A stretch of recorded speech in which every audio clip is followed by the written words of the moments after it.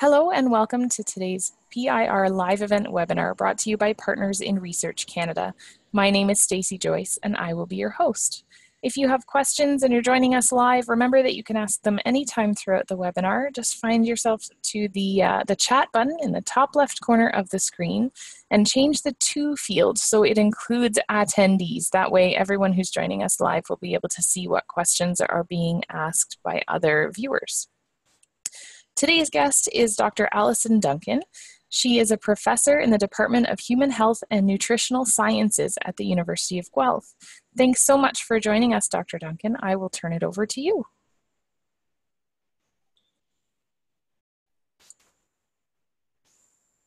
Thank you, Stacey. It's really great to be here, everybody. I'm just getting my slides up to get started on our presentation. So I'm really glad that everyone can join us here today, and I'm excited to speak to you about functional foods for health. And so what I'm going to do in our presentation is give you a bit of background about food, nutrition, and health, and then talk a little bit about functional foods and give you some examples of research that I do at University of Guelph around functional foods and health, and talk a little bit about communicating that research. Before we get started, I just want you to know that it's really um, relevant to all this that I love my job. Everything I do in my job, I really love, and it's a really important aspect of my job. And so I'm hopeful that all of you, through your education, will find something that you love and that you can get a job around that. So today we're going to be talking about food, nutrition, and health. And everyone can relate to food. Probably all of you, hopefully, have had breakfast this morning, and you might have even had a snack so far. And you're probably going to have more snacks or lunch and dinner. And there's things that go into how you decide what to eat, eat each day. How do you decide what to eat? Well, we know what you eat can affect your health. And the relationship between food, nutrition, and health is very well known.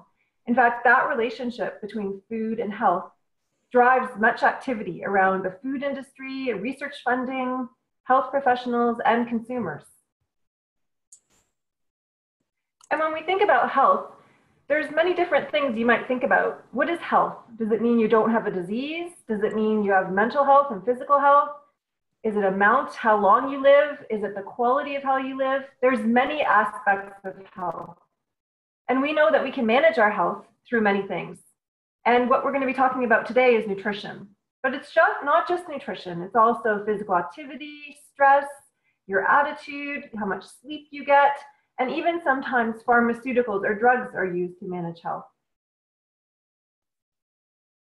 Well, we know that we can manage our health by nutrition, and that's what we're going to focus on this morning. And traditionally, when we think about managing our health through nutrition, we've come up with numbers for nutrients that we need to prevent deficiencies. So you may have heard of scurvy, a vitamin C deficiency. And we've come up with numbers that are for all of Canada so that we don't get scurvy. Now, we know a lot about these deficiencies, and over time, we've decided that we're actually going to optimize our health, not just prevent scurvy, but we're going to consider nutrition in a way to reduce risk of disease down the road. That is long term goals versus short term goals.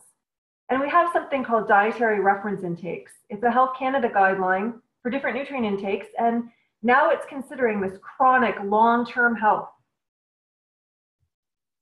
Well, getting back to nutrition and thinking about that long term health, we know that we're choosing our foods every day and everywhere. And everyone knows things about nutrition and food choices. And we really have a lot of opportunity for to make good decisions for ourselves. And there's a lot of tools that guide us. Just our common sense. We probably know it's probably not a good idea to have a chocolate bar for breakfast. We just have this common sense about what's healthy to eat. But we also have Canada's Food Guide to Healthy Eating. We have different logos that are on packages, and we have functional foods. So Canada's Food Guide to Healthy Eating, just a quick shout out that you're probably aware of this, your teachers may have shown to you or your parents.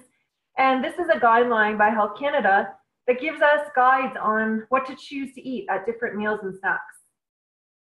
Now, it's really interesting that Health Canada is revising this food guide, and it's going to be coming out with a new one in the coming year, and that should be really interesting to keep track of. I also mentioned these logos on packages. You know, when you see a food package, there's so much information on it. Not only what, the, what it actually is, but there's a list of ingredients, there's a facts about the nutrition, and all of this has really caused a lot of information for us. So what has happened is companies have come up with logos, which are just a way to summarize all that information. So we know about the blue menu. One that's really that I've been involved with from a scientific perspective is guiding stars. That's in all the Loblaw related stores that give us an indication of um, higher nutritional quality of food. And now getting to the topic of the morning is this functional foods. This idea of functional foods has really revolutionized our approach to how to eat healthy. We're really looking at foods from more than just nutrients to provide basic nutrition, but to give us an indication of reducing chronic disease. So the simplest definition is that these foods could provide health benefits beyond that basic nutrition. So they're just a food, but they have something in the food whether that's fiber or omega 3 fatty acids or probiotics, something that's been enhanced in the food and added to the food and can help improve our health. So, food and health. This is quite a long definition that Health Canada has put forward, and we don't really need to read the whole definition. I'm going to simplify it, but just looking at the bottom, we see eggs with omega 3 fatty acids. Omega 3 fatty acids are a special bioactive ingredient that's been shown to improve health.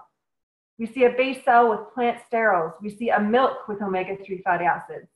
And we see a cereal with psyllium fiber. So we see a food can become a functional food if you add things, concentrate things, even remove things that are unhealthy or modify things. And so foods can become functional foods. And these functional foods, so to speak, can really improve our health long term. I'm going to give you some quick examples of research studies that I'm involved in at the University of Guelph that look at these foods and try and examine whether they in fact do affect our health in a good way. The first project that I was involved in that I'm going to share is about soybeans. So now you probably know about soybeans. Depending where you live in Canada and Ontario, you drive by soybeans every day. And so soybeans are growing in the field. And they have a lot of um, qualities that can contribute to our health. One of them is a plant chemical called isoflavones. What we did in this project is we collaborated with people that grow soybeans. And they grew those soybeans. You can see um, the picture of us in the top left-hand corner of growing the soybeans. And we grew these soybeans with different amounts of this phytochemical, a plant chemical called isoflavones. These isoflavones actually help the soybeans to survive. They've been shown to help us to reduce our risk of disease. So we took these soybean plants. It had a low, a medium, a high amount of isoflavones. And we made soy protein powder and soy flours. And then we created a bread. We then in phase three did some studies to see if people eat this bread, can they absorb those isoflavones? Can we actually measure those isoflavones in their body? And we also saw, do they like the bread? Um, what would be the benefits of including this bread in the marketplace? So this is an example of quite a large project that I was involved in that looked at this soy bread, a functional food that was had different amounts of isoflavones. Another project I'm actively involved in right now is focused on lentils. So I know some of you are with us from Western Canada. You'll be probably more familiar with lentils because lentils grow in Western Canada, especially a lot in Saskatchewan. And there's a lot of nutritional attributes of lentils. Lentils are a type of pulse. So pulses are not only lentils, but beans, peas, and chickpeas. And I'm not sure if you've tasted lentils before, but I definitely recommend tonight you ask your parents to buy some lentils and have them right away because they are so tasty and they have all these amazing nutritional attributes. They're not only amazing nutritionally, but they're actually part of Canada's food guide. They're part of the United States dietary guidelines. So they're nationally recognized for their nutrition. So what we did in our Love of Lentils study, and if you'll notice, that's LOL. So I think you guys can relate to that acronym, but it's Love of Lentils this time, is we looked to see if people ate these lentils with or without white rice, would it improve their blood glucose? So blood glucose is something that we all have. It's in all of our blood all the time. But we can manage it better sometimes if we eat the right foods. So what we said is if you just eat white rice, it's not going to be as good for your blood glucose as if you combine lentils with it. So this is a one graph I'm going to show you. And graphs are something you may not have taken in school yet, but if not, you will be very soon. And graphs have different axes. So it's like the line going upwards is blood glucose, and the line going across is the two treatments. So we have L2R, which is lentils plus rice, and we have rice. And as I mentioned, blood glucose, we all have it, so it's never going to be zero, but we do want to keep it lower. So you can see the lentil, the black bar, is lower than the gray bar. This is showing that when we combine the lentils with the rice, it lowered that glucose. And that's a good thing. So the love of lentils is telling us we should love them, not only because they're tasty and nutritionally packed, but they can lower our blood glucose. And this can help our diabetes risk. Another study I was involved with with diabetes is all about bagels. So this study, we called it the Better Bagel Study. I'm sure some of you had bagels for breakfast or snacks, and bagels can differ in terms of how nutritious they are. What we did with this bagel study is we collaborated with some plant agriculture scientists who grew a corn or a maize that was high in a certain fiber called resistant starch. Resistant starch is an interesting fiber. It can really help us to improve our risk of diabetes and colon cancer. And so you know what we did? We collaborated with Canada Bread. They're the same company that make the bagels for Tim Hortons. So right after they made the Tim Horton bagels, we got in there and made our bagels. It was three in the morning because they had to get all those Tim Horton bagels made first, but we finally got in there and made our bagels. And we did a big human study we called the Better Bagel Study. And we showed that if you ate these bagels that had this active ingredient, resistant starch, it was better for your risk of diabetes and colon cancer. So that was the Better Bagel Study. Then I've also been involved in a study about tea. So spearmint tea for arthritis. We call this Project Mint Tea. This is another study that was involved starting with agriculture. You know, everything starts with agriculture. It's a great thing to be aware of and tons of careers in that area. And agriculture can really improve our health when we look at it from different perspectives. This time we looked at a spearmint tea plant that had high amounts of something called rosmarinic acid. This is a really interesting compound, this rosmarinic acid. We just call it RA. It's been shown to improve health in different aspects. And you know what? It actually helped horses. Horses just ate up the plant. They didn't drink a tea. They just ate it all up and it helped their joints. They could race better. They were faster. So we thought, you know what? We're going to make a tea and feed it to humans and see if their osteoarthritis, their arthritis pain would improve. Here's another graph for you. So as we mentioned, the graphs have these axes. Up the top is the distance. How far could the humans walk on this test where we just walked them for six minutes to see how far they could walk. Across the bottom is when they had the tea for zero weeks, eight weeks, and 16 weeks. Every day they drank the tea. They had the green RA tea or they had the black control tea. And you can see at the end, the green dot's a lot higher than the black dot. It showed that drinking that tea for 16 weeks helped them to perform better on this test. And we looked at many other things. And overall, we showed that this spearmint tea was helping people for osteoarthritis. This tea is an example of a functional food, and helping arthritis is an example of improving health. So it's all well and good to do all of this research about functional foods, but do people even understand what functional foods are? This is a study we did in 200 older adults where we looked at do they even consume functional foods? Well, we found that of the 200 adults, 26% of them, so a quarter around, that would be 25%, were aware of the term. But once they were kind of asked a little bit more, 93%, almost 100%, were consuming functional food. And most of them were consuming it at breakfast. You'll see here this pie chart now, I'm a dietitian, so you think that I might not like pie charts, but I do, and I like pie too. And you can see in this pie chart, it shows most of it at breakfast that they were consuming the functional foods. Here we see the most common functional foods. So here's some examples. We see those omega-3 eggs again. Here's yogurt with probiotics, bread with fiber, cereal with fiber, orange juice with calcium and vitamin D. So it's interesting to do all this research and see that people do want to are interested in functional foods. But one of the things that's really important, and I think all of you can get creative about this, is communicating research. It's really a key part of the research process. That is taking the knowledge that you create in research, translating it, making it a way that someone can understand, and transferring it to those people. You guys have a lot of creativity and a lot to offer to figure out how we can best do this.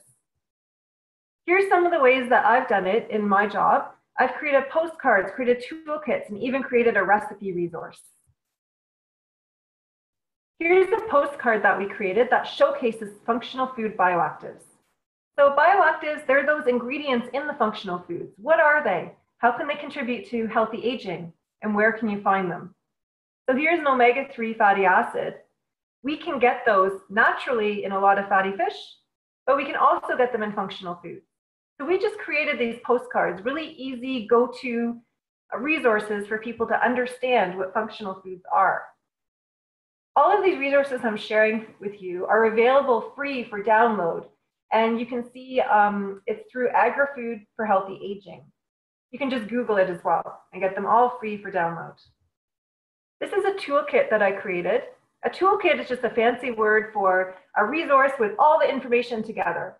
I put together with my graduate students an information kit for dietitians to help them to better understand functional foods. One of the things we did in this kit that I thought you'd be interested in is we took um, packages of common foods. So there you see Cheerios. When we look at a box of Cheerios, there's so much information on it. If you're eating Cheerios for breakfast, ask your parents if you can look at the box. There's labels all over the place. What do these labels mean? What are they telling us? And so we made, we took stock of all of that information and made little notes for the dietitians to better understand this. The final resource I'm going to share with you is the recipe resource that we put together. That's kind of a fancy word for a cookbook, but we made it more resourceful. We really wanted to showcase, highlight, how is it that agriculture, food, and healthy aging can come together? And we focused on older adults to help them to age optimally and have a healthy aging experience. So we filled this resource with recipes. We made mention of farm facts, nutrition facts, cooking tips, and testimonials, and we made it free to everybody. Even you can download it too. Here's some examples of some recipes that we did. We collaborated with the Ontario Beekeepers Association, the Ontario Goat Cheese Organization, and we put these, um, got these recipes from them, and we called out things we called out things about nutrition and healthy aging. We called out things about what are in things. What is it in beef that helps us to be healthy? What about eggs and blueberries and asparagus? And we made mention of all these things relating agriculture, food, and human health. Some more recipes here. All these recipes are catered for older adults to be simple, easy to read, large font, and they can make them. You can make them too, everyone can. And you can download a copy of the recipe resource. So just to summarize, functional foods are one of many tools that can be used to promote healthy eating. It's up to you to eat healthy, and you've got lots of tools to help you. There's many examples of functional foods that are being examined in research and how they can help us to age the best way that we can. And there's a huge opportunity to take all that research and information and create resources, tools for people to understand it, to increase the value of all that knowledge. So here's all of the organizations that provide support for what I'm doing. And I work with a lot of amazing students at University of Guelph. And I feel like I'm still a student. I'm a lifelong learner. And I can tell you right now, I'm going to learn a lot from all the questions that you asked me. I've already learned so much from interacting with Stacey and with this organization. And now we're going to move on to some questions from you guys. And I want you to ask me any question at all. Okay, thanks, Stacey. Well, thank you so much. Before you actually stop, oh, I'll get you to share your screen again. I couldn't say that fast enough, if you wouldn't mind. Um, we have a quick question about where uh, our audience can get those recipes. Was that a downloadable resource as well? It sure was. So you can go to AgriFood for Healthy Aging. And so, okay, so they can just Google the agri-food. Yeah, so here's the logo down here for agri-food for healthy aging. Perfect. I'm just going to write that in the chat for anyone who's with us live. Um, and then they can follow up as well a little bit later. Now, the reason I really wanted your slides up was because we had a couple questions about the tea research, and I know that you had a handy graph there. And the first question I wanted to ask was um, what was the control tea all about? So obviously you were giving one group um, the tea that you were hoping might have an effect, and you did see that effect. We see that those who had the tea, that line is going up. They were able to walk farther after having, uh, you know, a couple weeks of that tea every day. But what is the control line all about? Yeah, that's a really good question. In fact, as all of you learn more about science, you'll learn that we always need to have a control group. And a control group is a group that is participating in the experiment, but they're not getting the active treatment. So here we had two groups of people that had arthritis. One was having the rose, the green line, and the other was having a control tea, which was just a spearmint tea, but without that, that bioactive ingredient. And so it shows us that there was no, the control tea didn't really affect the walking. It wasn't until it had the rose in it. So that's what the control is. There's always some kind of control group. And do you think that the results would have been different if they just didn't have tea? Why give them tea at all? That's a really good question. I think whoever is asking this question is going to be a scientist because what that means is that there could be something called a placebo effect, which is you think that you're on the treatment, so you um, do better. So you, you have to, in a scientific experiment, have both groups getting some kind of treatment. So, like in a drug study, for example, someone would get the drug and someone would get something called a placebo or just a pill with nothing in it. Wonderful. So um, I'm just one. I'm looking for the T questions we had. We had a couple more here. Um, we have Ms. Theobald's class asking how much tea would you have to drink to feel its impact? That's a really good question. So these people were having two cups of tea per day. So not a lot. Um, Wonderful. And we had a few questions about the um, the soy bread study, but I don't think we need this the slides anymore for other questions here.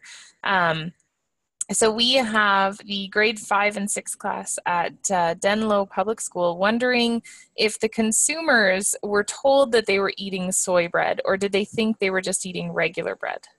Okay, this is again a really good question. So again, what we did in that study is we had a control group. And so they um, either ate the bread with the soy or the bread without, and no one knew which, which was which. And that's something called blinding. Blinding in a scientific study increases its quality.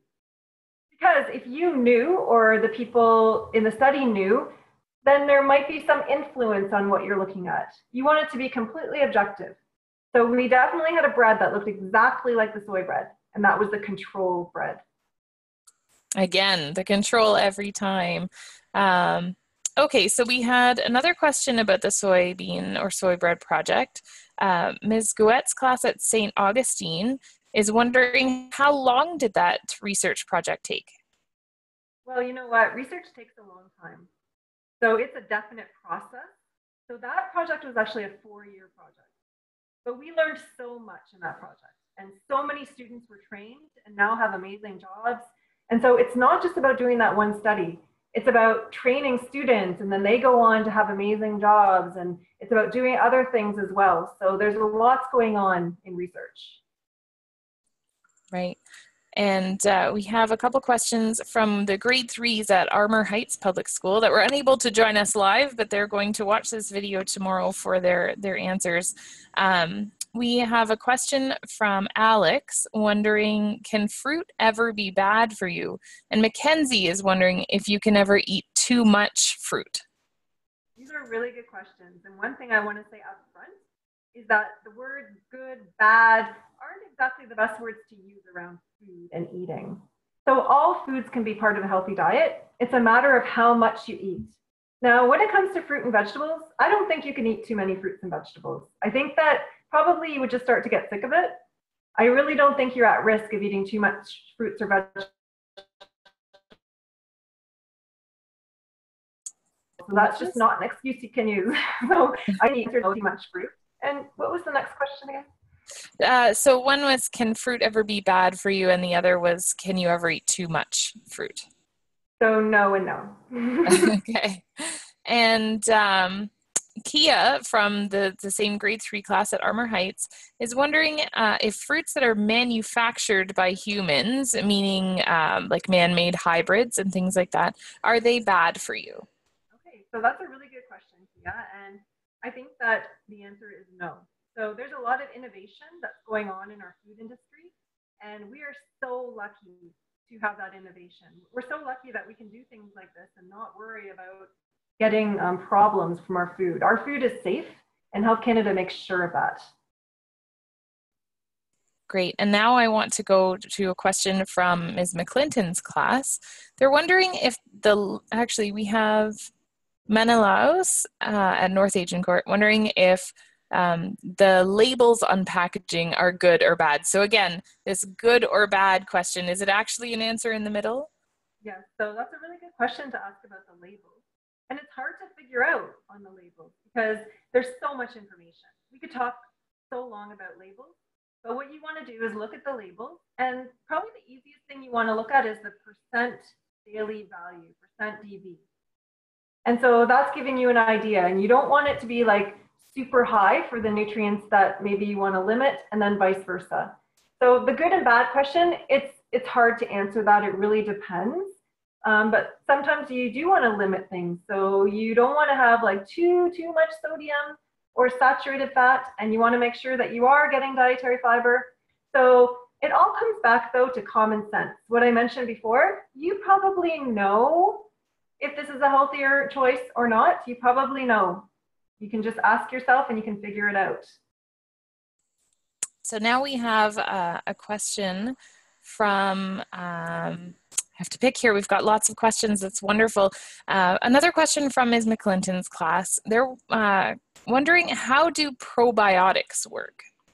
That's such a good question and such an interesting story. So probiotics are actually live bacteria. They're live bacteria. And it's really interesting that when we consider our body and the, you know, we put food in our mouth and it goes to our intestine, to our large intestine, and then we poo it out, our poo can actually tell us a lot about our body. Probiotics are bacteria that make it all the way into our large intestine. These bacteria, probiotics are bacteria, they help us to be healthier.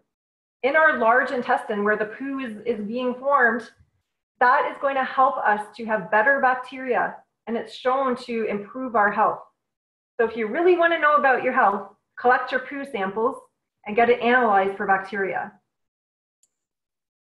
And we actually featured another University of Guelph professor about a year ago, I think it was last January, who does that, who studies poo essentially and all of the bacteria in uh, in the colon.